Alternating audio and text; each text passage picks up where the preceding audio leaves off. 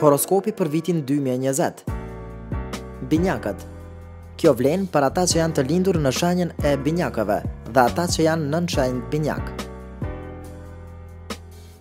Me marsin në shigjetar, në fushën e martesës dhe venerën në ujor, binjakët do të nisin vitin 2020 në shenjë të dashurisë. Do të nisni një lidhje interesante ose nëse jeni të martuar apo në lidhje, do të udhëtoni me partnerin diku. Nga 14 janari, Venera kalon në shenjën e peshqve dhe dinamika e fokusit tuaj do të orientohet rreth punës. Janari do të jetë i mirë për ata që merren me punë publike ose punojnë në drejtësi. Në muajin shkurt, fokusi juaj kalon në karrierë, sepse marsi hyn në shenjën e bricjapit dhe nëse merreni me ekonomi e biznes, keni gjasa t'ju shtohen paratë. Gjatë kësaj kohë, mund të keni nervozë të shtuar.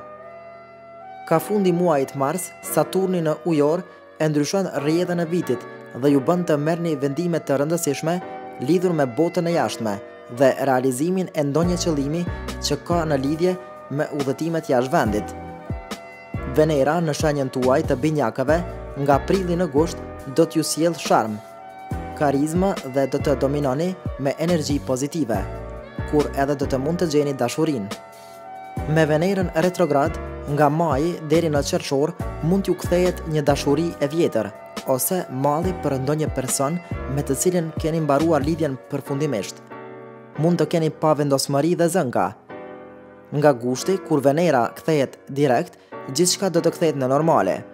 Marsi në shenjën e dashit, në fushën tuaj të miqve, planeve, dëshirave e shpresave, ju bën shumë pozitiv dhe të shoqërueshëm dhe të jeni të gatshëm të bëni punë ekipore.